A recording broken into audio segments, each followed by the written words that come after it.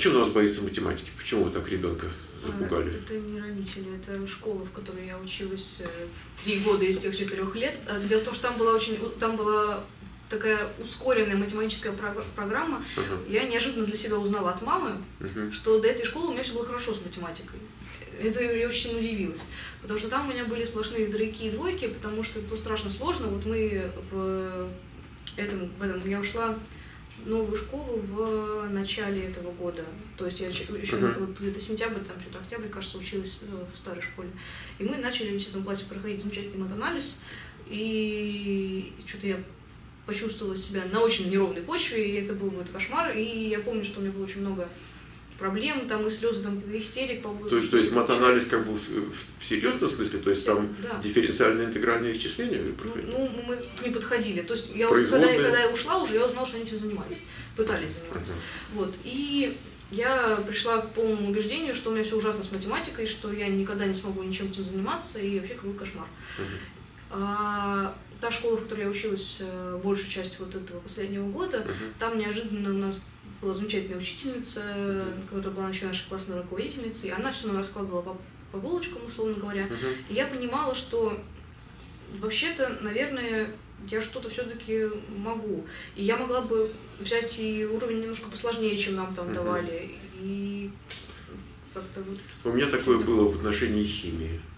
Я почему-то дико не любил химию. Я не знаю, при том, что казалось бы, что там. Сейчас я уже задним числом думаю, а что химия это что? Ну что химия-то? Ну как-то ну не шла, я не знаю как. А, а что касается гуманитарного, я дико не любил ничего писать. Вот это писать от руки, это было как, какой- каким-то наказанием. Только в институте уже как конспекты пишешь, уже рука разошлась. Поэтому вы разработали Ну, это так сложно случилось, так случилось, да. Но, но просто я к чему рассказываю, что я дико не любил писать. И там однажды, помню, в школе говорят, вот да, надо какое-то, я, я забыл название этого, там, сложное предложение какое-нибудь там. Вот. И я вдруг вспомнил там «Уж тает снег, бегут ручьи». То вот это вот, если еще «уж» убрать, то будет вообще минимальная форма. Там Два подлежащих, два сказывают. Я был доволен до соплей, потому что меньше писать надо, понимаете? Вот. А сейчас уже что-то, да, по клавишам стучишь. Вы знаете, но на самом деле Таня, она немножко утрирует в этом плане, говоря о себе так, таким образом как-то уничи- уничижительно. Потому как, а, когда вот мы выбирали школу, а на самом деле им надо дать должное, они сменили огромное количество школ. И я вот про Сами? себя... Нет, ну, с нашей подачи. По жизни. Я, я вспоминаю себя в их возрасте. Вот, я бы, наверное, чувствовал себя очень неуютно. Может быть, это мне дало бы какое-то там новые знания и новые какие-то вот в- в- восприятия чего-то. Вот, но э, мне было комфортно, я вот э, закончил свою школу для дебилов, средняя школа, номер 900 в Чертаново. Вот, на тот момент, когда я поступал, она была лучшая школа, там был фриш директор, это, бы- там были цветы, там были э, птицы, кружки, все-все-все. А раздевалки, не клетки вот эти вот страшные, закрытые, а все было замечательно. Но когда я туда поступил, фриш уехал на Кубу преподавать кубинским детям. И, в общем, все, школа сразу стала никакая. Разворовали ящики. Да, и все, все исчезло, и птицы исчезли, и клумбы исчезли, все, все, все исчезло. Вот, так вот, э, они сменили огромное количество школ, и ничтоже сумняшися, абсолютно не, не подавая никаких вот нам э, что негативных эмоций, что там, там друзья, там это. Нет, вот они шли вот по жизни вместе с нами таким образом. Вот, и матем- Настрадались они от вас. Ну, Молча. возможно, возможно так. Вот, возможно. И вот когда мы для Тани подыскивали вот эту школу, мы пришли, а там экзаменационные э, листы, да, вот которые э, для поступления. Мгм. И вот там 10 заданий по математике. Три из которых я вас понял, что я решу. Окей. Это в седьмой класс поступают люди. А остальные это вот, то есть я понял, что я бы мучился. Вот я бы мучился и думал, а, вот. И для меня это стало как, я думаю, я говорю, Таня, боже, это же что же? Это же, это же кошмар. Как они могут это решить? Ну вот она, она сдала, и у них серьезная математика. То есть, если говорить про средний уровень в стране математики, она может преподавать математику в школу, в школе. Вот. Понимаете? То есть это другой уровень. Не Она- то, что там Она говорит не про какую-то там математику обычную в средней школе, что она там вот не, не может, а другой несколько уровень. Да, да. То есть она, она уже эти бесконечно малые элементы проинтегрировала. Да, да это уже пройдено. У нее получилось что-то. Ну, хорошо. Так, вы чего? Как, как вообще в Израиль попали учиться? Что случилось? А я все детство ходила, ну, ездила в лагеря. Как-то была связана с такой организацией Сахнут. Конечно, да. Вот. И, ну, я много слышала, про, есть разные программы, то есть, когда uh-huh. дети уезжают, когда уезжают учиться uh-huh. уже в университет или уже после университета. Uh-huh. И в какой-то момент, ну, вот я загорелась этой идеей. Я помню, я год ее вынашивала, сначала хотела, потом перехотела. Uh-huh. В итоге решила, что все-таки я хочу. Ну, как-то просто, ну, всегда я была самым еврейским евреем в нашей семье. Так. Ну, это ее осознанный выбор, скажем так. То есть вот, э, знаешь, как там, было там три сына, значит, там, значит, один, там, двое русских, один еврей. Так, хорошо, значит. Ну и в основном можно сказать, что все мои друзья это чисто евреи, круг евреев. У меня единственная да, моя подружка с детства, она русская. Я говорю, что ты не вписываешься вообще в мою компанию. Вообще. Ну, она может пройти геюр в крайнем Да. Вот. И я решила, что надо попробовать, почему нет как-то, то есть я училась в школе, я поступила в школу, в которой училась сначала Таня, потом я, и вот по мере того, как мы там учились, она тоже разваливалась, то есть была хорошая, стала не очень, я понимала, что оставаться там, в общем-то, смысла и нет, и нужно куда-то идти. И один из вариантов был Израиль. Ну, подождите, а вот с точки зрения финансовой, ну, хорошо, допустим, она там живет и учится бесплатно. Вот есть школы, где бесплатно учат, но там же надо жить где-то. Надо там кушать, надо одеваться. бесплатно. В том-то дело, что это хороший плюс. Ты туда приезжаешь, там тебя кормят, почти, можно сказать, одевают. Э, это же государственная программа. На государство вкладывает в, бюджет. в этих детей То есть государство, государство привозит детей со, всем, со всего, мира, со всего мира с тем, чтобы они пожили там молодые годы, чтобы им понравилось. Там и мальчики, и девочки, и любовь, и морковь, там, и романтика, и там мертвое море, живая вода и там все такое. Значит, эти это, маца там сверху сыпется. Значит, и в общем, короче, чтобы они поняли, что это их дом родной. Да. Ну, да. это на самом деле это все кажется таким вот э, фееричным отпуском каким-то, уехать там от семьи далеко и жить одним, угу. без, грубо говоря, какого-то присмотра. Да, да нет, понятно, что одни евреи, это же это Нет, даже, даже не в этом дело. Тяжело. Во-первых, ты живешь, то есть одно дело, когда ты живешь, живешь с семьей, и то ты куда-то выходишь там в школу с друзьями погулять. Ты вот я учусь в классе, у нас там 25 человек, и с этими 25 людьми я живу в одном строении, в одном здании. Это в Слава Богу, нет, это, нет, в это в школе, в кибуце. Угу. Вот, э, кибуцная школа частная. Я их вижу круглые сутки, каждый божий день, и они уже сидят, вот за этот год, они уже мне надоели, вот я готова от половины из них избавиться просто из класса. Плюс, ну, как бы это ни казалось, на самом деле есть какое-то давление, то, что там есть какие-то определенные правила в школе, то, что мы не можем переходить купаться на море без, там, если родители приехали, там можем, да, угу.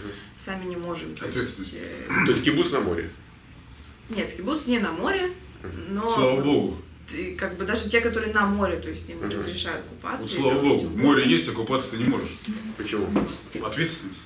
То есть они на себя это не даже, берут. Это даже не школа, это государство запрещает нам, детям, на В бассейне можешь купаться, а в море нет. Потому что были случаи, там, когда дети и тонули. Ну, в общем, то есть, на самом деле, морально это достаточно тяжело. То есть... Из разных стран ребята там? Да, у нас, например, собрались украинцы, ну, белорусы. Ну, это наши в основном, бывший ну, да, это бывший, Нет, но ну, это русскоязычные. Да. да. Может быть, там из Аргентины есть там где-то. Есть, на самом деле. Приезжают, но это уже отдельная школа для англоговорящих есть. Есть там разные там, французы. Угу. То есть у вас для русскоязычных? Да, у нас для русскоязычных. А между собой они разговаривают на, на каком языке? Дети? Да. Мы на русском на разговариваем.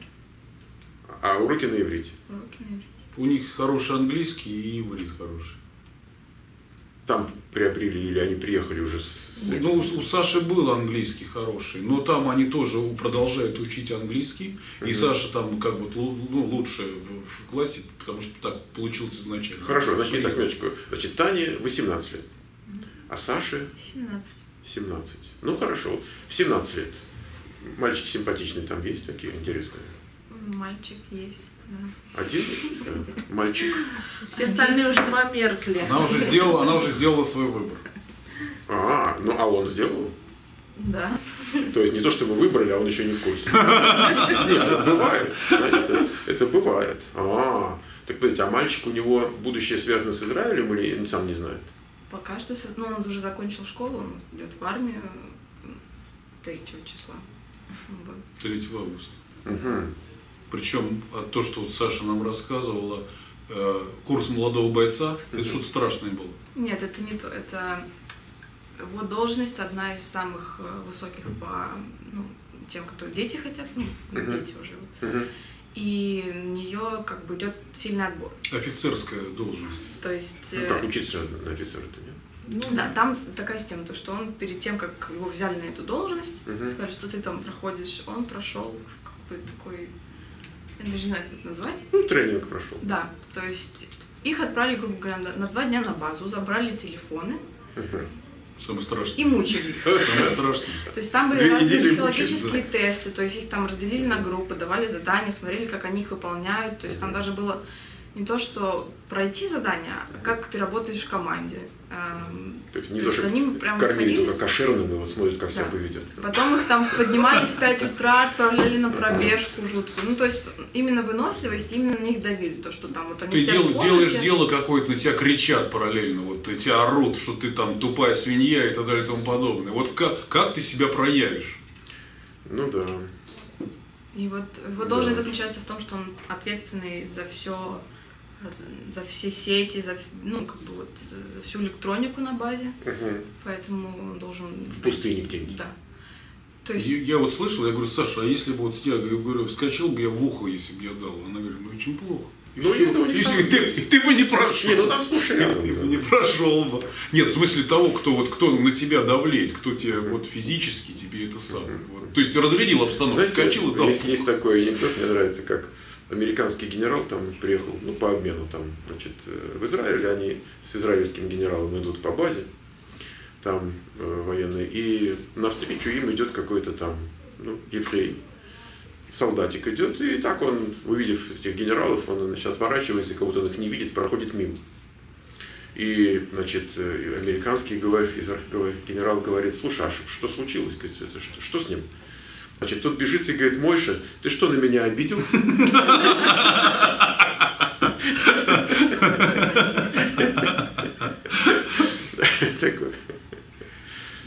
Да, ну что же, хорошо. Ладно, а так а сколько он служить-то будет? его должность подразумевает то, что год и восемь, то есть три, три, три месяца там идет курс молодого бойца как раз таки. Потом год и восемь месяцев он учится на свою должность, то есть он может еще с нее слететь. А потом уже он э, вступает в нормальную службу и еще, по-моему, служит где-то года два-три. Ничего есть- себе. Серьезная, серьезная вещь. Ну, он уже как бы как контрактник кон- служит, Ну да, то есть ему да. платят больше. Мгм. А так по стандарту сейчас сократили срок, мальчики служат 2,8, а девочкам наоборот увеличили, девочки служат 2,4. Это Мгм. новость для меня. Я То есть понял. два года, четыре месяца. Э, А для девочек эта служба обязательно, это не, не Есть optional, альтер- да? альтернативная служба, это как Мгм. бы ты, например, идешь в больницу помогать Ну да, да, или понятно. вот какие-то такие вещи. Но вы хотите в строй. Да. Ну, да, девочкам, например, например, девочкам Хорошо, она может. а не обязательно идти в боевые войска. То есть, если Мгм. мальчиков, если они подходят, и они больше, чем один ребенок в семье, Мгм, то, скорее всего, их отправят в боевые войска. мгм, А девочкам нет. Девочки должны сделать сами сознательный выбор, хотят они, не хотят. мгм, мгм. Ну, Саша, конечно, хочет. В боевые. Ну, разведка это полубоевые войска. Ну, будет тоже То аналитика. есть, нет, в основном девочки идут просто на такие должности, ты сидишь за столом, там, в компьютере, красишь ногти, Ну, это- а потом уходишь вечером домой. То есть, ну, я так не хочу сидеть, я хочу что, чем-нибудь заниматься, Мгм. потому что там еще как бы деньги за это платят. И чем у тебя, ну, спокойнее должность. Мгм. Там есть должность, когда ты просто в шрайдер бумагу суешь. Ну, то есть, чем спокойнее у тебя должность, Старший шрайдерщик. Да. то есть меньше платят. И хочется как-то получше. То есть у меня еще есть льготы, потому что я солдат-одиночка, получаюсь, если я пойду. Потому что у меня нет семьи в стране. Мгм. Вот, и там плюс надбавка какая-то А где вы нашли кавалера-то этого? в школе. А он там учился у вас? Да. То есть там девчонок-то много было, а он на вас запал. Три класса. Девочки, мальчики. Ну вы вот когда отпускали ее в Израиль, вы знали, что этим кончится? Ну, когда-то это должно было этим кончиться, на самом деле. Просто хой хотел, мы очень хотели, чтобы это было как цивилизованно, и чтобы уже э, ребенок, на- наш ребенок, подходя к этому, э, имел что-то в голове. То есть, чтобы это не было вот как в мое какое-то время, да, вот непонятно. Когда родители боялись о чем-то разговаривать с детьми, вот, а дети боялись спросить у родителей. Все, все это было под запретом. Но она у вас такая не по возрасту серьезная, да, такая? Ну, Саша, Взрослая. она, скажем так, довольно ответственно ко всему относится. И в плане выбора молодого человека у меня как бы нет сомнений о том, что Ну вы это одобряли? Она вам показала человек. или как? Ну, как показал? Нет, фотографии разрешения не спрашивала, Мгм. если вы об этом. Мгм. Но м, как, как Ну, начали одобрили. встречаться, естественно, она как-то Так, а мальчик откуда? обозначила. Мальчик из Петербурга.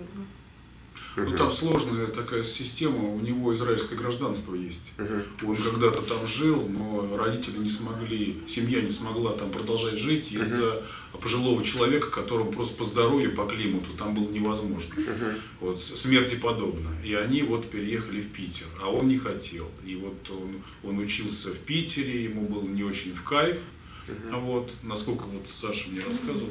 И вот он вернулся просто как, как себе на родину. Не как к себе на родину, а в общем-то к себе на родину. Репатриировался, можно сказать. Мгм. Да. Ну что же, хорошо. Ладно, теперь, в общем, интересная линия у нас так вот, э, ну, у вас больше такая в семье линия. Посмотрим, что дальше будет. Да, действительно интересно. Но он не хочет в Америку, например, да? Ну, как он говорит, то, что он хочет отслужить, может отучиться, приехать, как, как он хочет минимум приехать на год, чтобы подучить язык, потому что на самом деле с английским у него не очень хорошо. Мгм.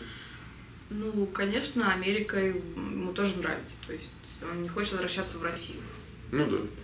Да, но пока у него в приоритете стоит Израиль, потому что Я ему понял. комфортно, и у него друзья. Ну и- что же, я, я бы сказал, что э, приятно, что вот как-то у людей как-то, ну не с бухты-барахты, да, а вот как, как что-то такое эм, а- обоснованное, можно так сказать. Ну что же, так, теперь мы Яшу будем допрашивать. Яша, Саша, улыбайся, как Ты в скажи, вот-. Keep smile. да. Значит, э, Яша, скажи такую вещь. Ты почувствовал, что ты куда-то вот как-то изменилась обстановка или примерно то же самое, что и раньше было? Ну, примерно, да, то же самое. Многословно. А по-английски ты как-то не, не, не пытался раньше? Может, изучал? Ну, я его изучал в детском саду, у нас были уроки по нему. Так. А понятно, что на улице, если люди говорят, или совсем мимо? Мимо. Мимо. Ну ничего, это, это быстро произойдет. Но хочется в школу? Да, А ты раньше не ходил еще в школу, только в сад? да, не ходил. То есть он фактически в первый класс идет? Или в киндергарден, куда он идет? Первый. Первый класс. В первый класс.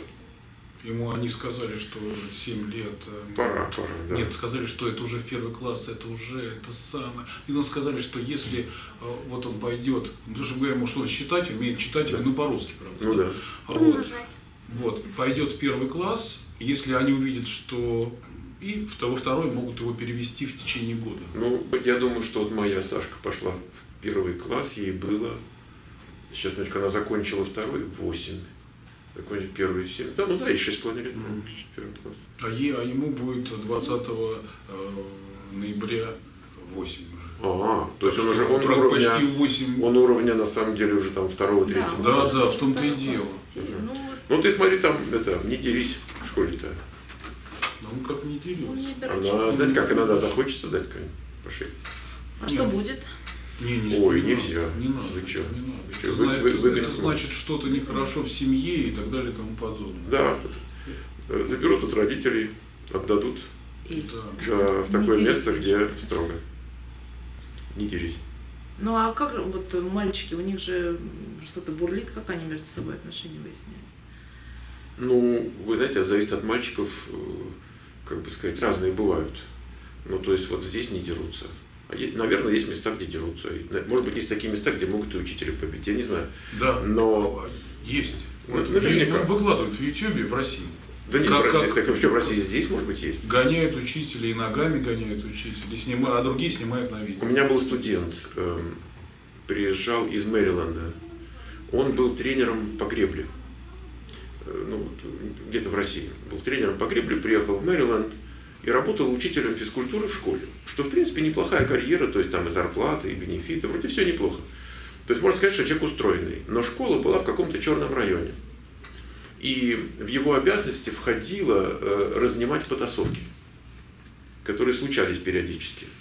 И к нам он попал после того, как его второй раз пырнули во время разбора потасовки. То есть первый раз он еще держался, а второй раз он уже понял, что надо что-то менять. Как не школа, как тюряга. Ре- Реально, да. Вот. И вот он приехал к нам и, и с тех пор попал уже наконец в Америку. Тут карта и мы пошла. Да, поперла. Ну что же, ребята, давайте я вас тогда отпущу, а то может тут целую вечность, я уже думаю, сколько же мы серий там из вас сделаем. Значит, да. эм, Возвращаясь к каналу, к YouTube, к ребятам, которые нас смотрят. Давайте вот что я скажу напоследок. Я не знаю, сколько нас досмотрят до конца. Есть люди упорные, их вот ничем не, про- не прошибить, они смотрят все до упора. Это процентов 20 всех просмотров, значит, люди доходят до конца. Поэтому те там, может быть, не знаю, там тысяча человек, которые нас досмотрят до конца, давайте мы им скажем, пусть нам ставят лайки. Вот, то есть мы им лайк, а они нам. Значит, сделайте вот так вот. Вот, вот это, пусть нажмут кнопочку лайк, и они тем самым вам дадут такой импульс э, к такому хорошему продолжению вот этой истории. Спасибо большое. И хочется, если позволите, буквально два слова Да. сказать. Вот, хочется э, блогерам э, и э, тем, кто смотрит, вот, хочется Наталью Квик поблагодарить вот, и сказать ей большое спасибо а, за то, что мы очень много, так сказать, неинтересного и вообще приятно было смотреть. Хочется Станислава Терова, который ваш выпускник, Мгм. вот, который сказал ту фразу, которая, собственно говоря, и эм, это и наша ситуация, да, он сказал такую замечательную фразу, что я приехал не в, я уехал из. Вот. И как бы это вот пред- пред- предопределило ситуацию. А вот. А Хочется всем адекватным комментаторам, которые живут и смотрят э, в YouTube, э, пожелать всего наилучшего. Вот, делайте свой выбор, потому что можно выигрывать, можно э, ехать по рабочей визе, но в любом случае, если ты хочешь чего-то добиться и достичь, э, у тебя есть такая возможность. И тут сюда приезжают люди и оформляют разные варианты с помощью адвокатов и так далее и тому подобное. А вы уже столкнулись с такими? да? Мы смотрели многое, потому что когда э, мы понимали, что мы можем запросто не выиграть, мы, мы просто смотрели, э, что мы можем на себя взять и что мы можем сделать. И ребята из Украины приезжали, и замечательный парень, вот у него иммигрант ТВ, по-моему, у него э, ви- видео. э, Андрей. пи- 500 килограммов переправил своих вещей э, под Нью- в Нью-Йорк, вот, в коробках. И когда они туда приехали с семьей, он получил просто, приехал, получил на минивэне весь этот груз. Вот. То Ну, есть это положительный опыт, как бы. да, то есть вот по перевозке люди, вещей. да, люди Так. думают головой, люди наводят справки, наводят мосты, получают информацию, как-то А, двигаются. а что же это должно быть 500 килограмм? Книги? ли? Лично, да, там были и книги, личные вещи, много, то что мы, вы себе Ну, представляете, какой... они везли, Что вели? детскую кроватку, Кроватку. они везли. То ну, есть вот много- Ну, много есть, есть перевозки такие, но это просто они медленно ходят. Это, в короб... это все было у него упаковано в коробках из-под сигарет. Вот то, что вот э, из, из да, блоки вот сигарет куда влезают, вот у него все было так упаковано. Ну, просто хочется сказать, что То есть вы так же сделали? не, мы так не делали. Е- мы- у каждого свои пути, у каждого понял. своя дорога. Вы не представляете, как ужасно, как а, многое нажитое непосильным трудом Да. выбрасывается на помойку. Я до отъезда, мы вот э, был такой кипиш, мы собирались, там стояли мы сумки везли, а вот и э, я приехал из Билайна, я там отключал, переключал э, это, э, прочее, прочее, прочее, роуминг, и прилетел где-то за 2-2,5 часа до выезда из дома в- в аэропорт а на, на кухню заскакиваю, а там все как было, так и есть. И вот э, выбрасываются продукты, выбрасываются вещи с кухни, выносятся и все это выкидывается. Понимаете? Для меня был просто шок. Вот, просто шок был, потому что вот я, те вещи, которые меня окружали, которыми я угу. я их просто взял и выкинул. Вот это, буквально это, за секунду. Это, это психологическое. Психологическое. Это выкинул и пошел дальше. Да, в общем, Слушай, да. ребята, давайте я вас тогда отпускаю. Значит, все машем рукой и говорим пока. Пока-пока. Всем пока.